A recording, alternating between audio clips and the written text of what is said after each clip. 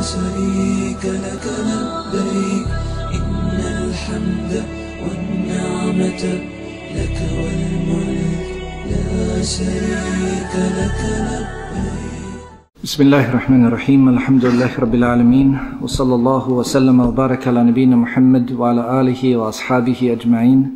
اللهم لا علم لنا إلا ما علمتنا إنك أنت العليم الحكيم. اللهم علمنا ما ينفعنا وانفعنا بما علمتنا وزدنا علما يا رب العالمين. Sva slava i hvala pripada Allahu Jalla wa'ala, njemu pripada hvala onolika kolika je njegova veličina i koliko samo njemu Jalla wa'ala dolikuje.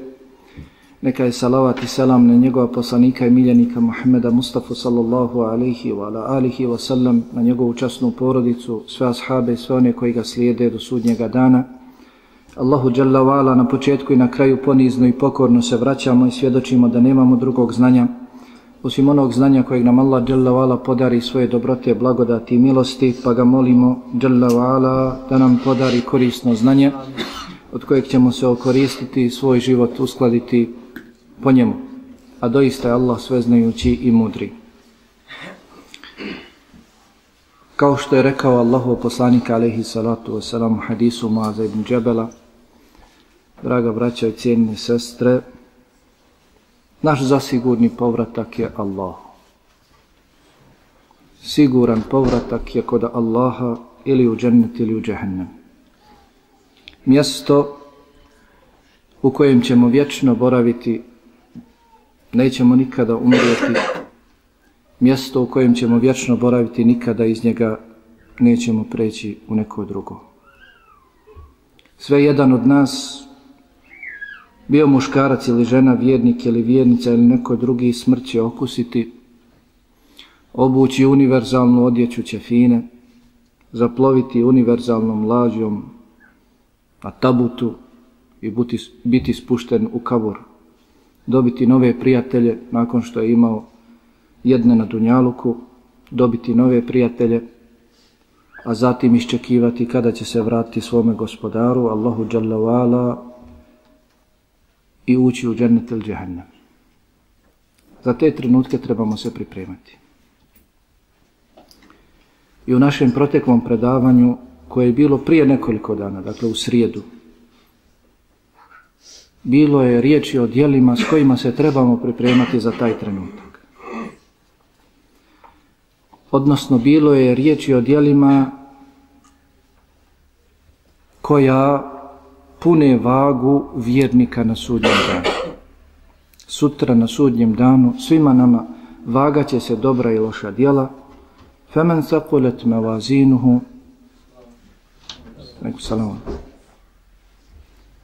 Fe ulajke humul muflihun. A oni čija dobra djela prevagnu, samo će takvi uspjeti. Fe emma men sakulet me vazinuhu, fe huva fi išeti radija. A što se tiče onoga čija dobra djela prevagnu, on će živjeti u udobnom životu, zadovoljnom životu. Onaj čija dobra djela budu lahka, on će boraviti u džehennemskoj vatri. Pa smo prošli puta, dakle prije nekoliko dana spomenuli ogromna, brojna dobra djela koja će biti posebno teška na vagi vjernika na sudnjem danu. Ima li neko da bi ih ponovio?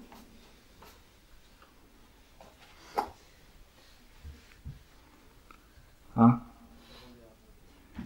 Imali neko, bi smo spomenuli u osnovi 14, ali pod njima još mnoga dobra djela smo spomenuli. Mislim da nije ugledala svjetlo dana još uvijek među braćom, dakle nova knjiga izašla i tekako obrađuje potrebnu tematiku vjerovanje u Allahu određenje, Allahu odredu kada i kadar. Jedna od najljepših knjiga napisana na ovu temu, sažetih, jasnih, pa onaj ko odgovori ima priliku da ima kod sebe. Ako zna neka od cestara, neka kucne, ako ne, onda ćemo dati, inače dajemo prednost sestrama. 1, 2, 3, 4, 5, 6, 14 smo spomenuli. Koliko ćemo salahudne ograničiti? A koliko? 5. no, 5, 5 je malo. 5 je malo. Ne, ne, ne, ne, ne, moj skakati srede. Od početka. Hoće li neko? Može li neko?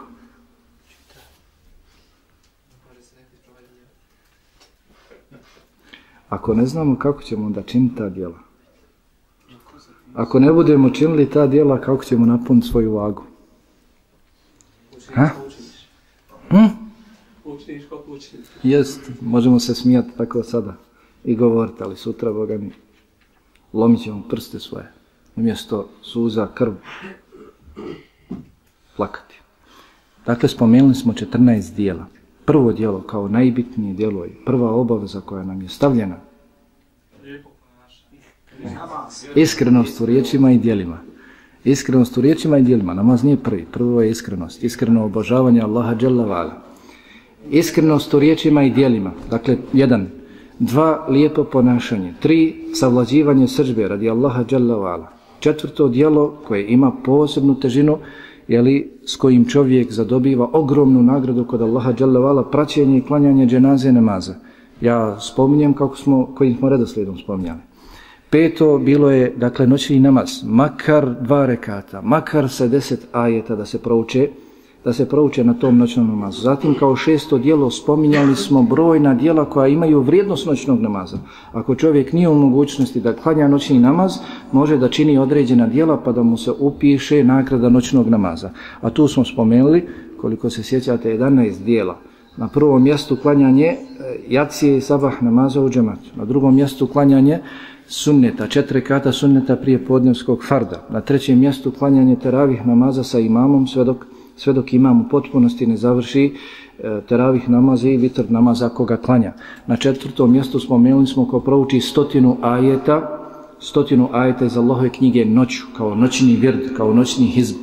Zatim spomenuli smo na petom mjestu ko prouči zadnja dva ajeta sure, sure El-Beqara, Amen ar-Rasul, la yukellifu Allahu nefsen illa usaha, jer je došlo u hadisu ko prouči noću ova dva ajeta, zadnja dva ajeta sure El-Beqara, ona će mu biti dovoljna, pa Hafiz ibn Hajar, kako smo spomenuli, jeli, u svome fethu kaže najpreće značenje i prvo osnovno značenje razumijevanja ovih riječi, ona će mu biti dovoljna, jeste ona će mu biti dovoljna umjesto noćnog namaza. Ako nije klanjao noćni namaz, ko prouči ova zadnja dva eta sura ili bakare, ona će mu biti zamjena za noćni namaz. Na šestom mjestu spomenuli smo lijepo ponašanje, jer je došlo u hadisu, doista čovjek sa svojim lijepim ponašanjem dostiže stepena onoga koji stalno klanja i ono stalno klanja noću i onoga koji stalno posti danju. Kao sedmo dijelo spomenuli smo, ha, ispunjavanje potrebe udovice i siromaha. Kao osmo, pridržavanje lijepog ponašanja prilikom odlaska na džumu, prilikom odlaska na džumu i slušanja hudbe. Kako je došlo u hadisu, ko se na dan džume okupa, porani, ode pješke, ne sa prevoznim sredstvom, približi se imamu i pomno sluša njegovu hudbu, za svaki njegov korak bit će mu upisana godina dana, godina dana posta i godina dana noćnog namaza, za svaki korak. Za svaki korak bit će mu upisana godina dana posta i godina dana, godina dana noćnog namaza. Zatim kao deveto dijelo spomenuli smo ribat, dijenje na Allahovim granicama, u borbi, na straži, u Allahu, na Allahovom putu ko provede jedan dan, jednu noć, dakle na straži u Allahu, na Allahovom putu, to mu je bolje od mjeseca dana, postaje mjeseca dana noćnog namaza, kako je došlo u hadisu. Zatim kao deseto dijelo koje ima vrijednost noćnog namaza spomenuli smo čvrsta odluka da će se čvrsto da se odluči čvrsto da će se ustati na noćni namaz jer je došlo u hadisu ko čvrsto odluči da će ustati na noćni namaz pa ga oči svladaju Hatta yusbiha sve dok nastupi sabasko vrijeme ne probudi se, bit će mu upisano ono što je nanijetio, ono što je naumio, a san će mu biti sadaka od Allaha Đalavala. I kao 11. dijelo, ako se sjećate, spomenuli smo na osnovu općentog hadisa, ko ukaže na dobro, poput je onoga koji ga je uradio.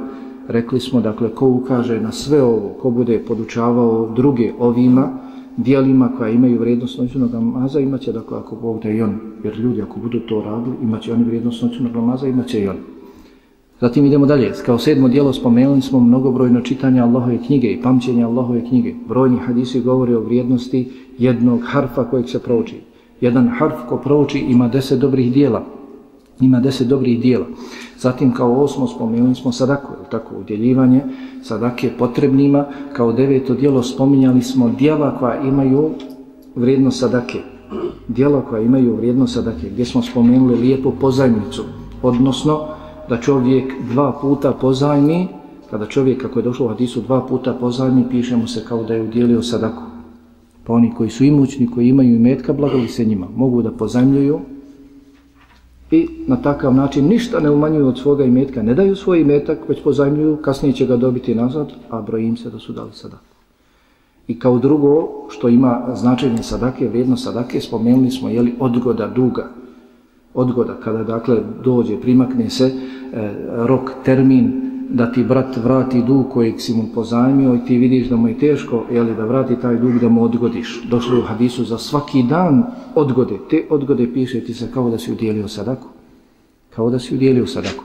Na desetom mjestu spomenuli smo posebno dijelo, a to je udjeljivanje svoga imetka na svoju porodicu, jer je došlo u hadisu gdje su spomenuta četiri dinara, da je najvredniji dinar onaj koji se udjeli potroši na svoju porodicu. Na 11. mjestu spomenuli smo provođenje noći kadra u ibadetu. Jer je došlo da je noć kadra hajru min elfi šehr, bolja je od hiljadu mjeseci u kojima nema te noći. Ne dakle noć samo kao noć, već dakle noć koja se provede u ibadetu. Noć koja se provede u ibadetu vrijednije ti je, bolje ti je nego da hiljadu drugih jeli, mjeseci u kojima nema te noći provodiš u, u ibadetu. Kao 12. djelo spomenuli smo zikr, slavljenje, veličanje Allaha subhanahu wa ta'ala spomenuli brojne hadise u kojima se spominju određeni zikrovi koji nisu teški za izgovoriti, ali će biti na vagi vjernika na sudnjem danu i tekako teški. Jeli, poput riječi subhanallahi wa bihamdihi, subhanallahi l'adim. Zašto su oni teške? Zato što su i tekako drage Allahu jalla. To je hadis koji mi imam Buhari završio svoj završio svoj sahih. Zatim riječ alhamdulillah, kako je došlo u hadisu alhamdulillahi temle ul mizan, a riječ alhamdulillah pune mizan. I brojni drugi brojni drugi zikrovi. Kao 13. djelo spomenuli smo strpljenje, jer je Allah dželle rekao u suri Zumer "Innema yuwaffa sabiruna ajrahum bighayri hisab. Doista samo strpljivi će biti bez računa nagrađeni.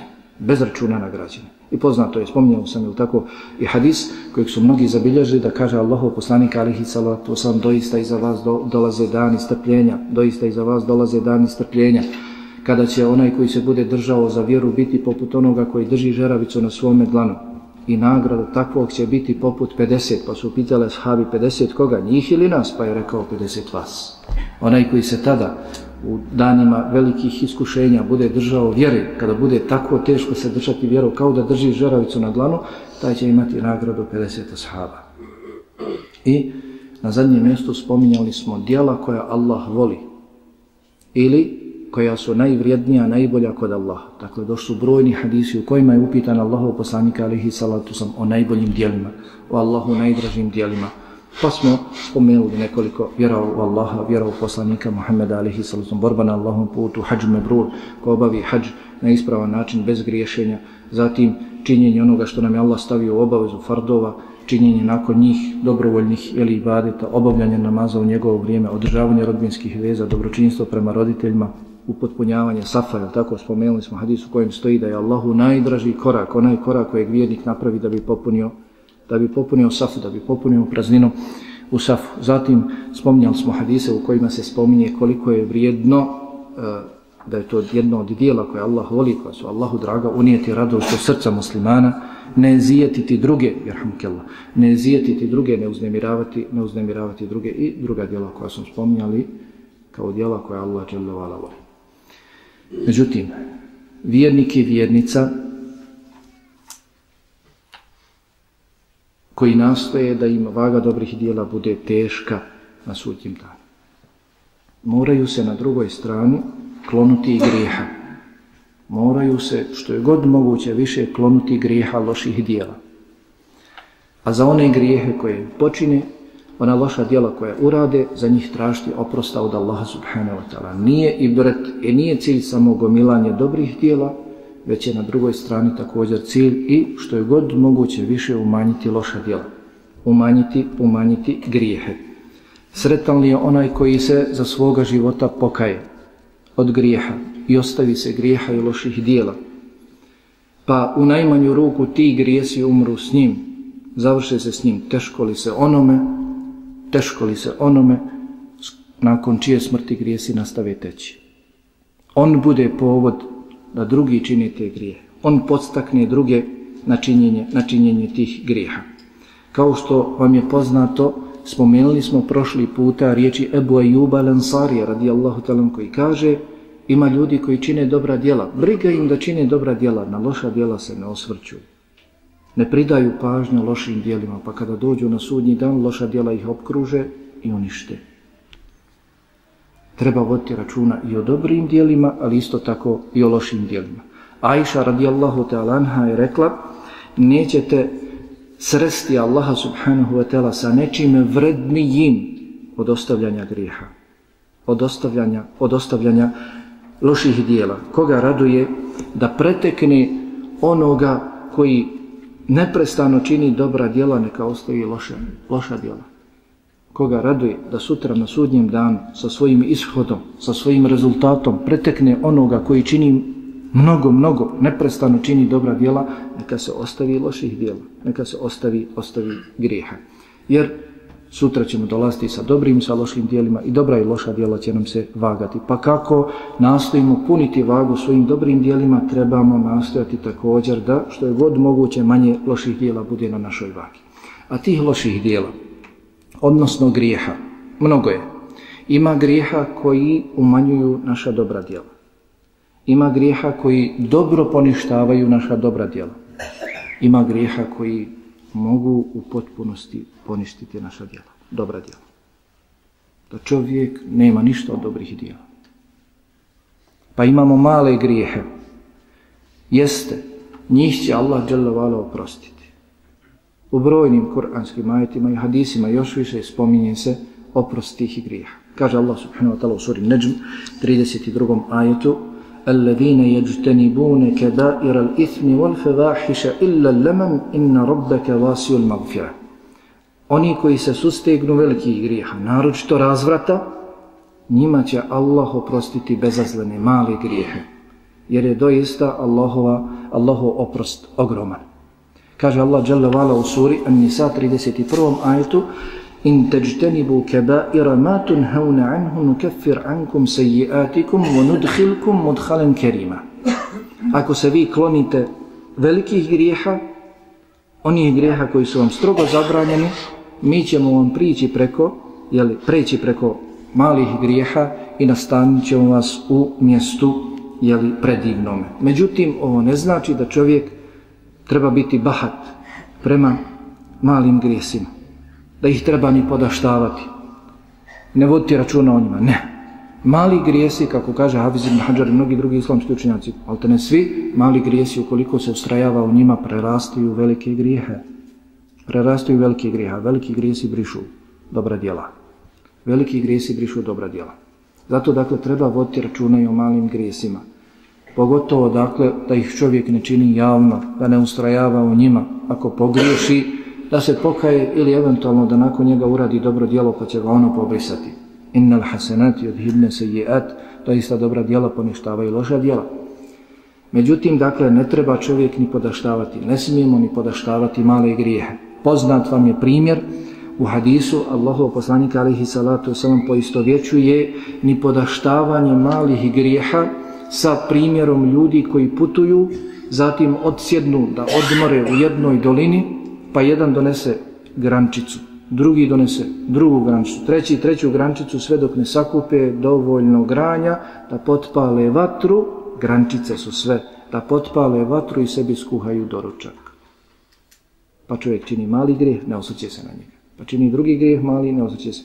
Pa peti, deseti, stoti, ne osvrće se na njih sve dok ga oni ne okruže, kako kaže Boje u Belansari i sagore ga. Zato dakle trebamo, trebamo voditi računa, trebamo voditi računa o njima. Kao što su naši prethodnici, ashabi, a rekao je Imam Malik Rahimahullahu ta'ala, neće se završnica ovoga umeta popraviti, osim onako kako se popravila, kako se popravila za njegova prethodnica. Pa mi kao što trebamo proučavati Kur'an, trebamo proučavati hadis Allahovog poslanika alihi salacom, isto tako trebali bismo proučavati biografiju biografije naših prethodnika, ashaba, tabijina. Enes radijallahu talan kaže tabijinima, vi činite, vi činite dijela koja su u vašim očima tanja od dlake. Vi činite dijela koja su u vašim očima tanja od dlake, a mi smo ih smatrali upropaštavajućim grijesima. Kad to govori tabijinima, i kada su tabijini na takav način posmatrali neke grije, šta je s nama? Šta je s nama? Allah najbolje zna, jedino kibla je ostala zajednička. Od vjere mnogo što smo promijenili. Mnogo što se zagubili. Preinačili. Zato, dakle, ne smijemo ispuštati iz vida male grijehe, već moramo, dakle, voditi računa o njima. Zatim, veliki grijesi. Veliki grijesi. A veliki grijesi su šta? Veliki grijeh je Salahudine, Šta? Neću primjer, nego hoću definiciju. Neću primjer, nego hoću definiciju. Dobro, muallim, hajde čućemo i tebe kasnije. Neću primjere, hoću definiciju. Veliki grijeh kod učenjaka ehli sunneta od džemata je to. Svaki grijeh za koji svaki grijeh za koji se obećava kazna ili na dunjalku ili na ahiretu. Svaki grijeh čijeg počinioca Allah proklinje, na čijeg se počinioca Allah srdi, čijeg se počinioca Allahov poslanika alaihi salatu sam odriče, kaže lejse minna, nije od nas, onaj ko nas vara. Varanje je veliki grih. Nije od nas onaj koji podigne oružje prema svome bratu. I slično. Dakle, svaki grih koji za sobom povlači kaznu na dunjalku ili na ahiretu, koji povlači za sobom Allahovu sržbu, Allahovo proklestvo, odricanje Allahovog poslanika alihi salatu wasalam, jeli, od njegovog počinjuca je, je veliki grijeh. A tih velikih grijeha je mnoštvo, mnoštvo, mnoštvo. Brojni su šerijatski tekstovi u kojim, pogotovo hadisi u kojima se kaže od najvećih grijeha, od najvećih grijeha, od najvećih grijeha. Pa između ostalog, jedan od hadisa kao primjer, dakle, nemamo cilj navoditi, a veliki grijesi, dakle, dobro, dobro poništavaju dobra djela. Kaže Allahu poslanik alihi salatu sam, doista od najvećih grijeha, najteži grijeha kod Allaha subhanahu wa ta'ala jeste da čovjek se oženi ženom, zadovolji svoju potrebu, zatim je pusti, ne dadne joj mehr. Čovjek da unajmi radnika, obavi mu posao, zatim ga otjera, ne dadne mu što je potrebno da da, da ga isplati, ne isplati ga. I čovjek koji ubije životinju iz igre i zabave. Da čovjek ubije životinju iz igre i zabave. Jedan od primjera doista od najvećih grijeha kod Allaha subhanahu wa ta'ala. Dakle, mimo širka, vidjet ćemo sada, dakle, grijesi koji propaštavaju sva djela. I ovo, da čovjek oženi ženu, zadovolji svoju potrebu, zatim se raziđu, pusti je, otjera je, mehrio i ne isplati, njen vjenčani dar. Da čovjek unajmi radnika, obavi mu posao, ne isplati ga, otjera ga, prijavi ga, boravio kod njega na crno, obavio posao, policiju zove da ga vodi policija. A crno nema papira. I čovjek je li da ubije životinju iz igre i zabave. Zatim, upropaštavajući grijesi. Upropaštavajući grijesi, kao što kaže Ibn Qaim, rahimahullahu ta'ala, njih je mnogo. Ima dakle grijeha koji nam upropaštavaju sva djela, koja poništavaju sva djela, ima grijeha koji nam upropaštavaju, poništavaju dijela toga dana kada učinimo taj grije i slično. Kaže Ibn Qaim, njih je toliki broj da se ne mogu pobrojati. Da se ne mogu pobrojati. Kada ih je toliki broj, onda vjerovatno ih ima u našem životu. Pa se svi islamski učenjaci slažu, bez razilaženja. Imamo da širk je jedino dijelo, da je širk dijelo koje je poništava sva dobra djela. Da je širk grijeh smatranja Allahu nekoga ravnim ili smatranja Allahu nekoga sličnim. Činjenje nešto od ibadeta. Ibadet je sve ono što Allah voli, čime je zadovoljan. Bez obzira, radilo se o riječima ili dijelima, o dovi, zikru ili nekim dijelima, seđdi i slično, da se to uputi nekome drugom. Bez obzira da li to ibadeti bili javni, manifestovali se, čuli se, čulo se za njih, vidjeli se, ili čovjek u svome srcu nešto uputio nekome drugom mimo Allahu Đalava. Allah subhanahu wa ta'ala na mnogim mjestima spominje pogubno širk. U suri An-Nisa maltene isti ajet spominje, 48. ajet Inna Allahe la yagfiru an yushraka bihi wa yagfiru ma dune dalike li men ješa. Doista Allah neće oprosti da mu se čini širk a oprostit će ono što je manje od toga. Također kaže u 116. ajetu na isti, na isti način.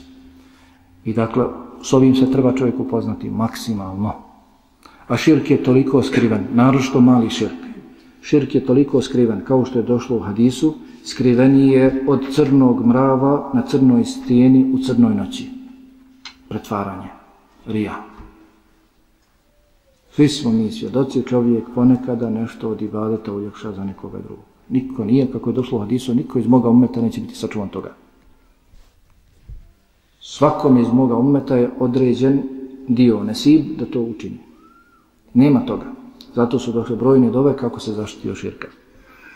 Pa dakle, kada Allah dželavala obećava i prijeti svome poslaniku Muhammedu alihi salucom, kao i svim drugim poslanicima, kada bi oni učinili širka Allahu nekoga smatrali ravnim da bi im sva dijela bila poništena. Onda, dakle, takav je slučaj i s nama. Preči smo da nama dijela budu poništena Kao što kaže dželavala u suri Zumer, وَلَقَدْ أُوحِيَ إِلَيْكَ وَإِلَى الَّذِينَ مِنْ قَبْلِكَ لَإِنْ أَشْرَكْتَ لَيَحْبَطَنَّ عَمَلُكَ وَلَتَكُونَنَّ مِنَ الْخَاسِرِينَ doista je tebi, a i onima prije tebe objavljeno, da kada bi ti učinio širk, sva tvoja dijela bi bila poništena i ti bi bio od stradalnika na sudnjem danu, na drugom svijetu.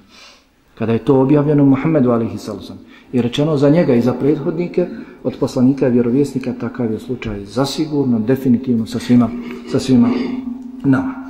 Zatim, od dijela, od grijeha koji, koji poništavaju dobra dijela, jeste zasigurno nevjerstvo, da čovjek učini dijelo kufra, nevjerstva. Da učini svjesno, sa znanjem, bez prisile, iz igre i zabave. Da učini nevjerstvo. I brojna su djela. Također, kao što kaže Ibn Kajim, ne mogu se pobrajati. Jeste, kod nas su napisane poslanice, komentarišu se poslanice u kojima je spomenuto deset stvari koje izvode iz vjere. Tako, nevakidul islam, često se kaže i na arapskom, jeli poznato i kod nas, nevakidul islam, stvari koje poništavaju islam. Jeste, šejh Muhammed ibn Abdul Wahab rahimahullahu ta'ala to je spomenuo deset glavnih. Iz njih mnoge proizilaze. Jedan od hambelijskih učenjaka, pravnika, u svome dijelu Kešaful Kina, Sambelijskog hambelijskog beseba, savremenik naš, preselio je, e, Behuti, u poglavlju o riddetu, o otpadništvu, dakle fikska knjiga u poglavlju o otpadništvu, spominje 400 dijela koje izvode iz vjere četiri stotine dijela koje izvode iz vjere. Pa jedan od primjera, kao što malo prije rekao, ismijavanje s vjerom. S bilo čime od vjere. Ono za što se zna da je došlo u kitabu i vjerodostojnom sunnetu, oko čega su islamski učenjaci složni, da se čovjek, musliman, hađija, ne znam ti šta više, ismijava s bilo čim od toga, izlazi iz vjere kometak. Izlazi iz vjere kometak. Poznat vam je dobro slučaj zabilježen u suri Taube. Slučaj da kada se išlo na Tebuk, a od Medine do Tebuka je prilična udaljenost, nije se imalo mnogo jahalica, prevoznih sredstava, pa su znali dvojica, trojica na jednoj devi se mijenjati. Mnogo je njih išlo pješe, moralo se često odmarati, velika udaljenost. Pa pojedini munafici i drugi kada bi odmarali, znali bi se ismijavati sa karijama, hafizima Allahove knjige od ashaba, pa su objavljeni kuranski ajeti. Vole in se eltehum, ako bi ti njih upitao, zašto ste to činili? Zašto ste to činili? Zašto ste se ismijavali sa nosiocima Allahove knjige? A govorili su, kako se ismijavali? Govorili su, ne znamo da ima većih izjelica od njih. Da neko može više pojesti od njih. I ne znamo da ima većih kukavica u boju od njih. To su govorili. I slične riječi.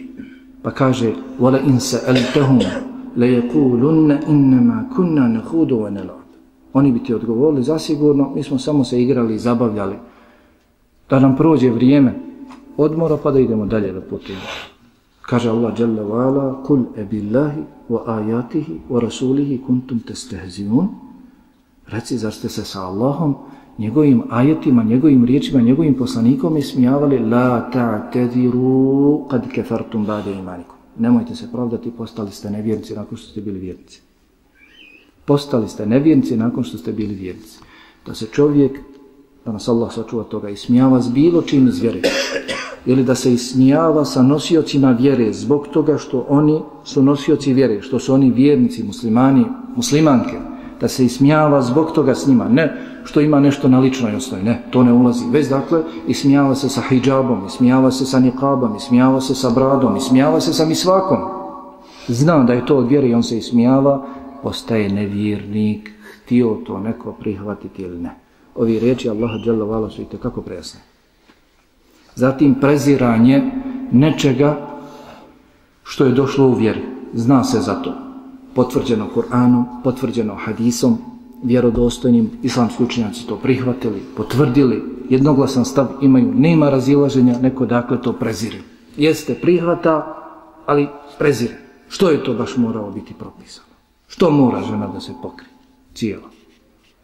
I u svakom vaktu čak i kada je vruć. I, i, i, dakle, da bilo čovjek šta prezire od vjere, a to je jasno od vjere mu, dakle, postaje nevjerni. Kaže Allah dželle vala u suri Muhammed 9. ajetu: "Zalika bi annahum karihu ma anzala Allah fa ahbata a'malahum." Zato što su oni prezirali ono što je Allah objavio, što je Allah objavljivao, Allah je njihova djela poništio. Zato što su oni prezirali ono što se objavljuje u vjeri, u Allahovoj knjizi Kur'an Kerima Allah je poništio njihova djela. I brojni drugi primjer, inša Allah, doće redno. Zatim kao drugo dijelo, odnosno treće dijelo, nakon nevjerstva, rija, pretvaranje, kao mali širk. Rija, pretvaranje, mali širk, poništava dijela. Dijelo i od ibadeta u kome se nađe rija, pretvaranje. Dakle, čovjek čini ibadet u osnovi radi Allaha subhanahu wa ta'ala, otpočne ga. Radi Allaha subhanahu wa ta'ala, ali završi radi nekoga drugog. Nekoga posmatra, nekoga čuje, slično pa ga uljepša radi njega, to djelo je poništeno. To djelo je poništeno. Čovjek otpočne namaz da klanja radi Allaha subhanahu wa ta'ala, lijepo uči, zadržava se na ruku, zadržava se na seždi, pohvali ga iza leđa, pa on počne uljepšavati, još ljepše uči, podmaže grlo, ostane još više na seždi, na ruku, počne uljepšavati, završi taj namaz radi njih. Da bi ga posebno pohvalili nakon predaje selama, to djelo je poništeno. Nema ništa od tog djela, Kako kažu islamski, kako kažu islamski učenjaci. Zato dakle treba voditi računa. Poznata mi je dobra hadis kuci u kojem kaže Đalavala, ja sam najneovisni, ja sam najnepotrebniji. Da mi se neko čini ravnim, sličnim. Pa ako učini dijelo, neko dijelo radi mene i drugoga, ja ostavljam i njega i njegovo dijelo. U drugom rivajtu ja ostavljam njega i njegov širk. Allah nema nikakve potrebe. Drugi imaju potrebe. Da im se čovjek približava, dodvorava i, i Allah nema potrebe da u tom dijelu koje se čini Allahu subhanahu wa ta'ala još neko drugi da se pridoda, pridoda. Pa ko učini neko dijelo radi Allaha i radi još nekoga drugog, to mu se dijelo, to mu se dijelo odbija. Ne prima. Da ne ponavljam hadis Ebu Hureyre radijallahu ta'ala o trima kategorijama s kojima će potpaliti džehennem. Činili su najbolja dijela, muđahid preselio na Allahom putu, drugi podijelio sav svoj metak, treći podijelio, sticao šarijasko znanje i dijelio ga. Niko od njih to či, nije činio radi Allaha. Onaj prvi je dao svoj život da se kaže kako junak, drugi je podijelio sav svoj metak da se kaže kako je da režlju pružene ruke, a treći je da se kaže kako je učen. Pa je to rečeno na Dunjalku, na Ahiretu, ništa od tih dijela neće imati. Spominjao sam, jel, kada je došlo do Moavija, radi Allahu ta'ala, na ovaj hadis, počeo je da plače. I plače, i plače, i plače. Oni koji su bili u njegovoj prisutnosti, rekli su umrijeće Koliko mnogo plače, ispustit će dušu. Pa je obrisao suze i rekao, ako je ovakav slučaj s njima, šta je onda s drugima? Ako će ovakav slučaj biti s ljudima koji su učinili najbolja djela, šta će onda biti, šta će onda biti sa, sa drugima? Zatim, koje je četvrto djelo? Dizanje glasa iznad vjerovjesnikovog sallallahu alihi wasallam glasa. Odnosno, izdizanje svoga mišljenja iznad stava riječi Allahovog poslanika alihi sallallahu A brojni su danas takvi. Koji mudruju i govore kako su njihova mišljenja preča da se danas prihvate od riječi Allahovog poslanika alihi sallallahu Kako je to dakle preče, kako je to pogodnije za ovo vrijeme. Poznati su vam dobro ajti sure Al-Huđurat i stalno, neprestano podsjećam braću i sestre da iščitavaju tu suru. S pravom su komentatori je nazvali sura Ahlaka, sura Adaba, sura koja odgaja čovjeka. U mnogo čemu, u menheđu prije svega, odmah prvi ajati u njegovom pravcu kako da se obhodi sprem Allahove knjige i riječi Allahovog poslanika alihi sallam. Pa prvi ajati koji su objavljeni Hm. Prvi i drugi ajet govori o ovome, o čemu sada pričamo. Hm. Drugi ajet, ja juhel ladina amenu, la tarfeu asvatakum fevka sautin nebi. ولا تجهروا له بالقول كجهر بعضكم لبعض أن تحبط أعمالكم وأنتم لا تشعرون O vjernici, nemojte dizati svoje glasove iznad vjerovjesnikovog glasa. I nemojte ga dozivati kao što jedan drugog dozivate. Da vaša djela ne bi poništ, bila poništena da vi to i ne osjetite. Da vaša djela ne bi bila poništena da vi to ne osjetite. Poznato vam je kada je objavljen ovaj ajet Sabit ibn Qais, koji je imao slabiji sluh. Nije dobro čuo. Kada je objavljen ovaj ajet, otišao je u kući, plakao, zatvorio se u kuću, danima nije izlazio i govorio ja sam ustavnika džahnama. Zašto? Nije dobro čuo. Kada bi razgovarao sa Allahim poslanikom, alihi salacom, mi smo svjedoci, onaj koji ne čuje dobro, on glasnije govori. Ti ne znaš, kasnije kad ti neko čuje, ka, kad ti neko kaže, pa ne čuje on dobro, onda shvatiš zašto se on toliko, jeli, da kažem, dere, jel, diže svoj glas. Pa kada bi razgovarao s poslanikom, alihi salacom, njegov glas je bio prodorniji. Kada je objavljen ovaj ajet da vaša djela ne bi bila poništena, da vi to ne osjetite, Sabit ibn Kajs je rekao, moj glas je bio prodorniji od glasa poslanika, ali i salucam, moja djela su poništene, ja sam ustavnika vatre. To je bilo za vrijeme Allahovog poslanika, ali i salucam, dok je bio živ. Kažu komentatori, kasnije, nakon njegove, njegove smrti, ovaj hadis, odnosi, ovaj kuranski ajet odnosi se na izdizanje svoga mišljenja iznad poslanikovih riječi. Nemojte izdizati svoje mišljenje iznad onoga što je rekao Allahov poslanik alihi sallam. A brojni su danas takvi. I brojnima se dobra djela nište, poništavaju, nisu ni svjesni. Zato je najbolje, kao što su rekli naši prethodnici, tabijini, radi ono što su radili oni prije tebe. Stani tamo gdje su oni stali. Dovoljno ti ono što je njima bilo dovoljno. Za njih je Allah dželle na mnogim mjestima. I poslanik alihi sallam pogotovo hadisma rekao je da je zadovoljan prvom generacijom, ashabima. Za nas niko nije zadovoljan. Niko nije rekao da je zadovoljan s nama. Da će Allah biti zadovoljan s nama. To nigdje ne stoji. Mnogima od njih Allah je obećao džennet. Šta je nama obećano? Mnogi od njih Allah je volio i obavijestio preko poslanika alihi sallam da ih voli. Ubeja ibn Kaba i drugi. Mnogima od njih Allahov poslanik alejhi sallam obećao džennet. Za neke od njih će se zauzimati i nama ništa to nije obećano. I opet mi mudrujemo, govorimo treba ovako, treba onako. A po strani stoji Kur'an i Sunnet. Oni nam govore u Kur'anu i u Sunnetu sve nam je braćo i sestre pojašnjeno sve. Samo je na nama da uzmemo i da radimo potom. Vjerujem da kada se razbolimo, odemo kod ljekara, propiše nam jeli, lijekove, da idemo i kupujemo apoteci te lijekove. Ako hoćemo sebi ozdravljenja, ako hoćemo da živimo još. A smrt i život na ovom svijetu nije ništa spram života na drugom svijetu. Ovdje, dakle, ako umreš, umreš.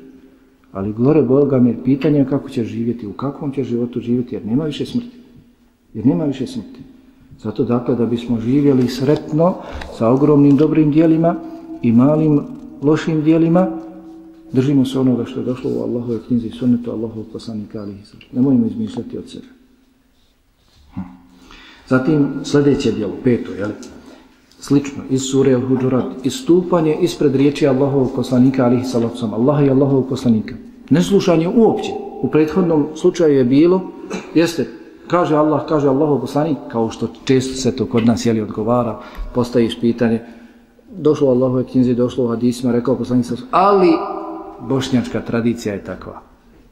Ali, sve je dobro bilo, samo da nije ali. Da je stao tamo. Ali, ali.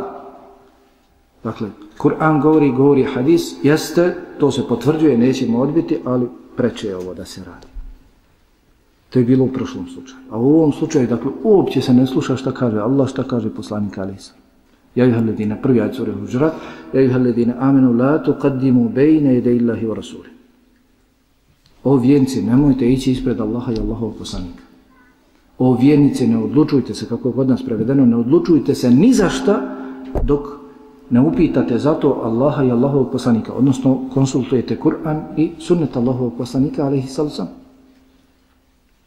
Pa kada će čovjeku propasti dijela, ukoliko izdigne svoj stav iznad stava Allahov poslanika, ali kako da mu ne propadnu djela kad uopće ne mari za Allahovom knjigom i sunetom Allahovog poslanika, alihi salatu wasalam. Zato, dakle, i bret da uzmemo. Zatim, sljedeće djelo, grije, prkos Allahom, da se čovjek izdiže iznad Allaha dželavala i da donosi on sud o ljudima. Budimo da je, ono nemojmo biti kad je. Poznat vam je hadis da je jedan dobar čovjek, pobožnjak, abid, čovjek koji je mnogo ibadetio, činio ibadet, rekao za drugoga koji je bio loš čovjek, koji je pio, nekoliko navrata ga odvraćao od tog njegovog grijeha i drugih grijeha, na kraju mi rekao, tako mi Allah, Allah ti neće oprostiti. Tako mi Allah, Allah ti neće oprostiti, ići isto stanika vatre. Pa kaže Allah, dželavala, ko je taj ko se izdiže iz mene, iznad mene? Ko je taj koji se izdiže iznad mene i govori, ja neću oprostiti tom tom, ja sam oprostio, a tvoja djela sam, dobra djela sam poništio. Ja sam ti oprostio, ja sam drugom oprostio tom za kojeg si ti govorio da mu ja neću oprostiti, a tvoja dobra djela sam poništio. Dakle, ono što je Allahu ostavimo Allahu, ono što je Allah naredio nama, potrudimo se oko toga. Zatim, od dijela koja poništavaju dobra dijela, od loših dijela koja poništavaju dobra dijela, propuštanje kindije namaza.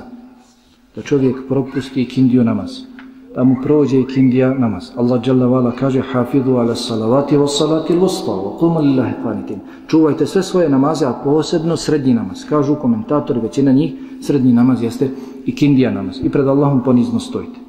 A došlo je u hadisu da je rekao Allahov poslanik alihi salatu wasalam ko propusti ili ko ostavi kindiju namaz, poništena su mu dobra djela. Kažu komentatori, poništena su mu dobra djela toga dana što je učinio od dobrih djela toga dana, ko propusti kindiju namaz, ne klanja namaz, sva dobra djela od sabaha koja je skupljao do ikindije, poništena su mu. A u drugom rivajetu je stolo, došlo ko propusti ikindiju namaz, ostavi ikindiju namaz kao da je izgubio ženu, porodicu i imetak.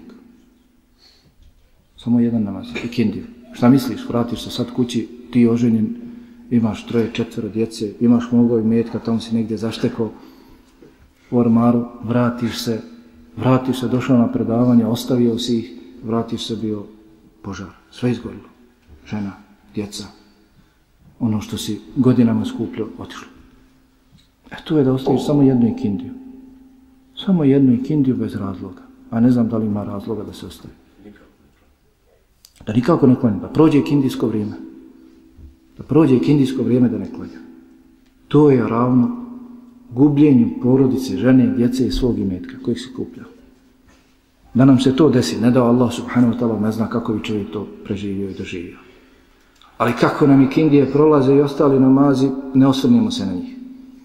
Kao što je rekao Yunus ibn Ubejd, iako je to bio veliki učenjak sunneta u svoje vrijeme, učenjak hadisa i sunneta, kaže, na večer kad zatvaram kokoške, falim jedna kokoš pa se uznemirim. falim jedna kokoš pa se uznemirim. A učinim na drugoj strani loša tijela, nasrće se na njih. Namarim ono što. Fali nam nešto malo iz imetka. A? Ne znam, platio si više nego što je trebalo, nije ti vratila u ono, pa stalno na putu do kuće računaš. Pa gdje sam? Odakle mi? Fali mi oni deset maraka. Gdje je otislo? To što nam fali dobrih dijela i što smo učinili loših dijela, niko Od nas se ne pita. Ko od nas svaku večer kada hoće da legne sviđa račune, uradio sam ovo, nisam uradio, mogao sam. Uradio sam od zla, a moglo me je zaboti, mimo ići, mogao sam to, lako se riješiti toga. Ja. Zatim, narušavanje Allahovih granica u tajnosti je grijeh koji poništava dobra djela.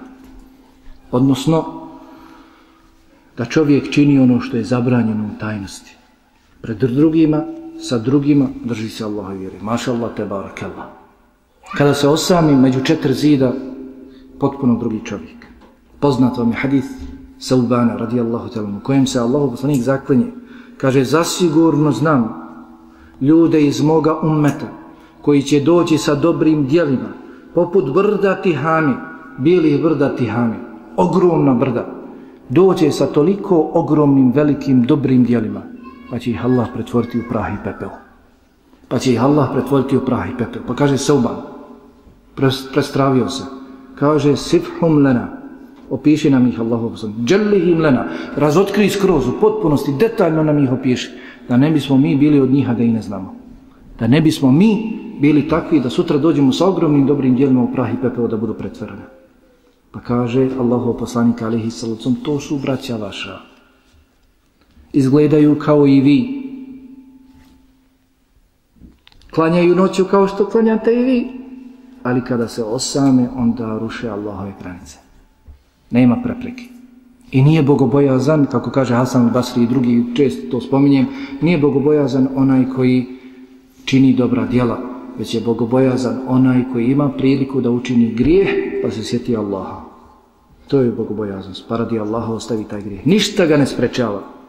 Lijepa žena pozove ga. Ma ne mora. Ukaže mu se prilika da dođe na lahak način, zabrajen način do imetka prevara i ostalo, sjeti se Allaha dželavala pa ostavi se. To je bogobojazan čovjek. Nije bogobojazan onaj koji te spi prevrće gor dol, zikri, uči puno Kur'ana. Jeste, sve je to potrebno, ali dakle, kad si u prilici da, da učiniš grijeh, ostaviš ga radi Allaha, to je, to je bogobojaznost. Zatim, od grijeha koji poništavaju, razlog su poništavanja dobrih dijela i to u dobroj mjeri, bespotrebno držanje pasa, bespotrebno držanje pasa kod sebe. Jer je došlo u hadisu Abdullah ibn Umara radijallahu anhuma da je rekao Allahu poslanik alihi salatu wasalam ko bude držao psa osim psa za čuvanje imetka i čuvanje stada svaki dan mu se od dobrih dijela umanjuje koliko je kirat. Rekli smo prošli puta kirat je koliko je brdo Uhud 8 km, kilometar 48 metara. Svaki dan toliko ti se jeli, uzima od dobrih dijela. Držiš psa bez ikakve potrebe. Kućni ljubimac. Ja se no, vidi, ženi se, imaju djecu, neki to budu s kojima ćeš boraviti u kući. Svaki dan od dobrih dijela ko drži bez potrebe umanjimo se koliko je brdo uh dobrih dijela. Onaj ko ima potrebu, ima potrebu, nema smetnje da ga drži, ali ne smije u kući, kao što smo o tome govorili, jer ne ulazi pas u kuću u kojoj se, ili ne ulazi melek u kuću u kojoj se nalazi pas slika zvona. Zatim, od grijeha, pitanje gatara, sihirbaza, ili odlazak gatarima, sihirbazima, vraćarima. Ma nešto mi dijete nije nikako do sadašnje. Imao šta za njega. Gde otvori knjigu, pogledaj šta se kaže, finđan, pogledaj i ostalo. Došlo u hadisu ko ode samo ode vraćaru, gataru, 40 dana mu se ne prima namaz. 40, nama, 40 dana nema vrijednosti namaza uopće. Ne diže se namaz iznad njega. Nema ništa od tog namaza. Jeste, on je ispunio svoju obavezu, ali ništa od tog namaza nema. Nema nagrade. A namaz je jedno ili zasigurno po većini islamskih učenjaka, po većini nije zasigurno, po većini islamskih učenjaka najvrednije djelo Allahu najdraže dijelo, namaz. I čovjek nema ništa od tog namaza 40 dana. Zatim, sljedeće nedjelo, sljedeći grijeh, prihvatanje od siherbaza i gatara. Da čovjek samo ode i pita, 40 dana mu se ne prima namaz. A još da povjeruje ono što mu oni kažu, došlo je u hadisu, فَقَدْ كَفَرَ بِمَا أُنْزِلَ عَلَى مُحَمِدِ učinio je nevjerstvo ono što je objavljeno Muhammedu. Zanegirao je ono što je objavljeno Muhammedu. Razilaze se islamski učinjaci da li je ovo dijelo nevjerstva. Da li, dakle, tačno, kao što je rečeno u hadisu, zanegirao je, učinio je nevjerstvo, učinio je kufr, ili se to misli da je zanegirao blagodat koja je došla sa Muhammedom alihi sallam. Dakle, da ima rješenje u knjizi i u sunnetu. A on je otišao i pitao druge. Tražio od njih lijeka. Pa dakle, kažu islamski učenjaci da bi ovo drugo mišljenje bilo je li prioritetnije. Ne, ne, ne, ovo je bilo 11. djelo. 11. grih. Mo, kako hoćeš. E, govori o dva različita načina brisanja dobrih djela. Zatim 12. djelo, odnosno grije, konzumiranje alkohola. Konzumiranje alkohola poništava dobra djela. Došlo je u hadisu Abdullah ibn Umar radijallahu anhu. Da je rekao Allahu poslanik alihi salacom, ko pije alkohol, Allah mu neće primiti namaz 40 dana. Vrijednost namaza, dakle. Neće mu se primiti vrijednost namaza 40 dana. Ukoliko se pokaje, Allah mu oprosti. Ponovo se vrati, pije alkohol, Allah mu neće, oprosti, neće mu primiti vrijednost namaza, neće mu primiti namaz 40 dana. Ukoliko se pokaje, Allah primi njegovo pokajanje. Ponovo se vrati, pije alkohol, Allah mu neće primiti 40 dana namaz. Ponovo, ha, pokaje se, Allah mu primi pokajanje. Četvrti put, kad se vrati i pije alkohol i bude htio da se pokaje, Allah mu neće primiti pokajanje. Allah mu neće oprostiti. Neće prihvatiti njegovo pokajanje i napojiće ga u džahennemu, na ahiretu u džahennemu sa rijekom od gnoja. Rijekom od gnoja. Od gnoja.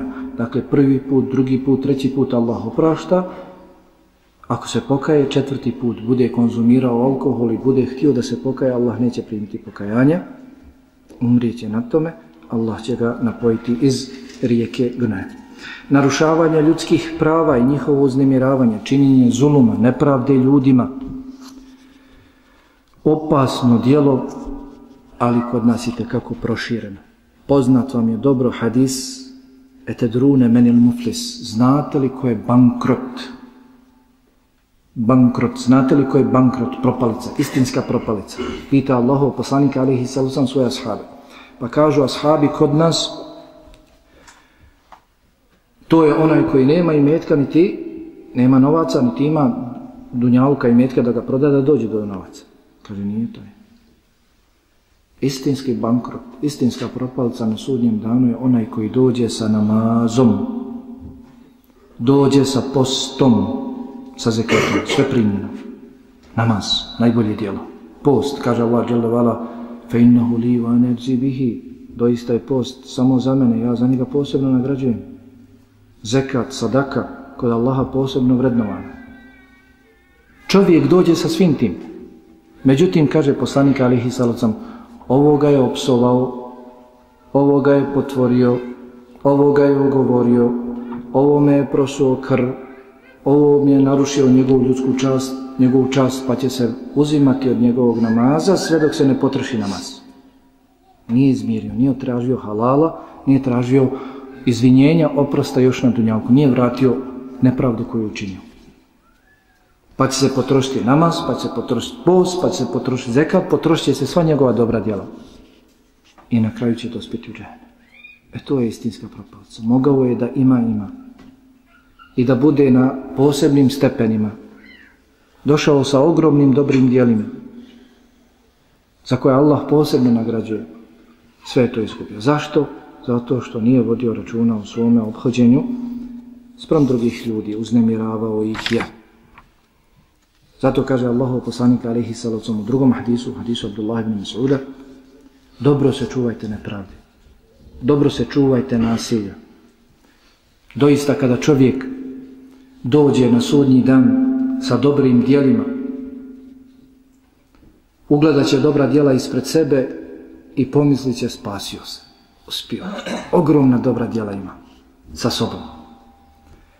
Pa neće prestati oni kojima je činio nasilje nepravdu na Dunjalku govoriti gospodaru moj učinio mi je nasilje.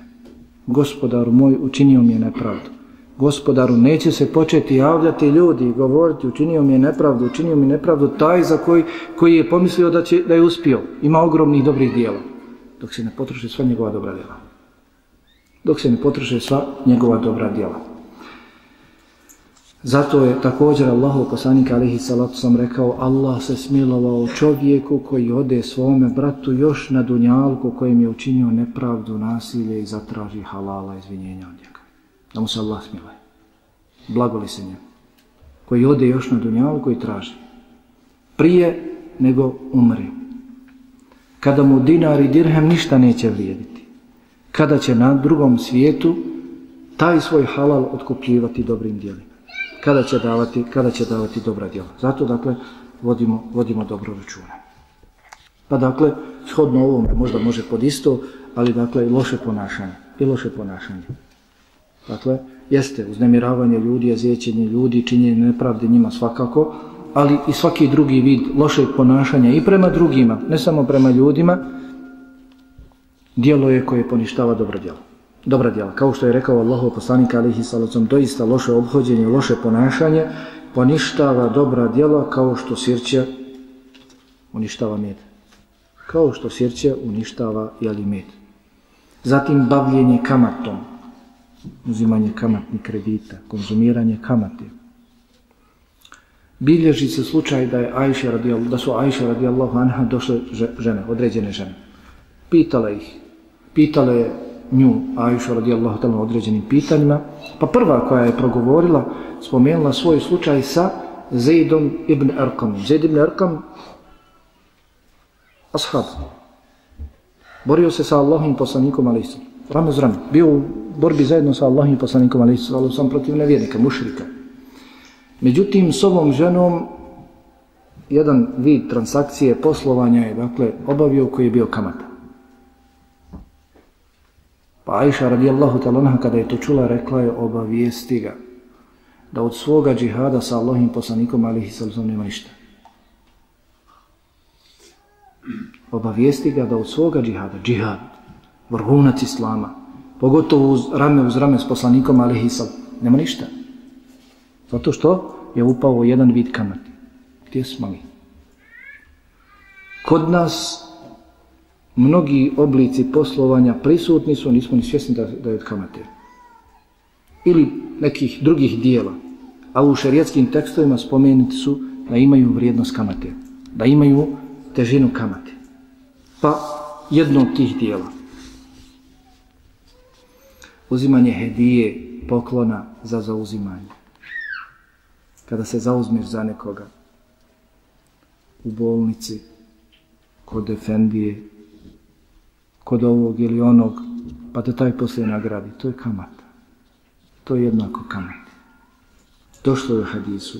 Ebu Umame El-Bahilija radijallahu tam da je rekao Allahov poslanika alihi salacom ko se bude zauzimao za svoga brata pa mu on dadne poklon hediju za to i on to prihvati učinio je jedan vid kamate.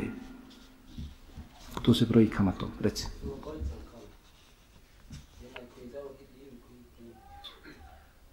Ovdje stoji dakle za onoga koji, koji dao. Ako se to ne računa mitom, ako me je nagovijestio prije da će mu dati, onda i on. On je učinio onda mitu. Ako zna ovaj da će dobiti od njega, onda je učinio mitu.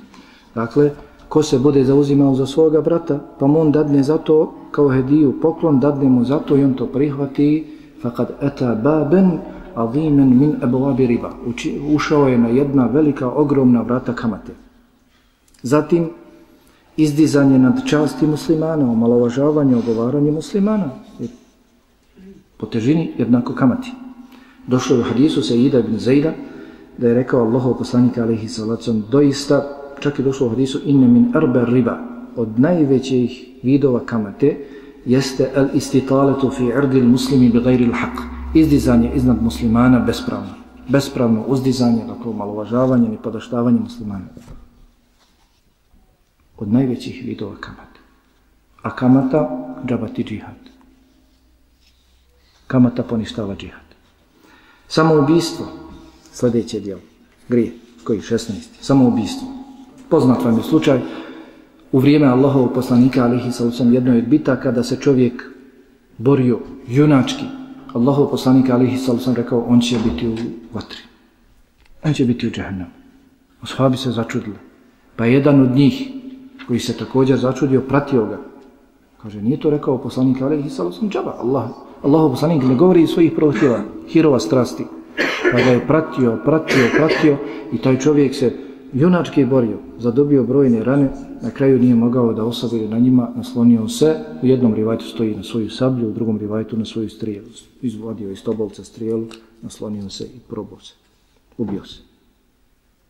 Pa poništena su mu ta dobra djela bezrazložna ha, neposlušnost žene mužu.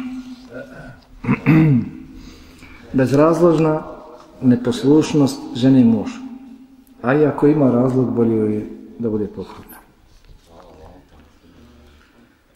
U hadisu Ebu Umami radijallahu talan kaže Allahov poslanik alihi salatu sam trima kategorijama ne diže se namaz iznad njihovih ušiju nemaju vrijednosti od svoga namaza oderaše kožicu seđadu ne diže se vrijednost namaza nemaju ništa od toga pa na prvom mjestu kaže odbjegli rob sluga sve dok se ne vrati pobjego od svoga vlasnika, svoga gazde, sve dok se dakle ne, ne vrati. Žena čiji muž zanoći srdit na nju. Žena čiji muž zanoći srdit na nju. Sve dok je srdit, njoj se ne prima namaz. Ne prima se vrijednost namaz. I imam onaj koji predvodi narod, a narod ga preziri. Narod ga ne voli da dakle čovjek predvodi ljude u namazu i na drugim mjestima, a oni ga preziru. Tom imamu, tom čovjeku ne diže se vrijednost namaza. Nema ništa od tog svog namaza. To i ženi koja rasrdi svoga muža i on srdit za noći legne, njoj se ne piše vrijednost namaza sve dok je on srdit na nju. I odbjegli ruku. I osamnaesto dijelo, a takvih dijela ima još mnogo, ali zadovoljit ćemo se s ovim, prigovaranje na udjeljenu sadaku, udjeljenu milostinju. Kao što kaže Jalla Vala, ja juha ledina, la tubtilu sadakatikum bil menni wal eda. O vjernice, nemojte poništavati svoju sadaku. A sadaka, govorili smo prošli puta, koliko je vrijedna kod Allaha subhanahu wa ta'ala, pogotovo kada je iskreno data radi Allaha. Čuli ste hadis Ebu Hurere, dirhem je pretekao hiljadu dirhema. Čovjek imao samo dva dirhema, dva srebrenjaka i dao jedan. Dao jedan pola svoga imetka dao. Pa je pretekao hiljadu drugih dirhema.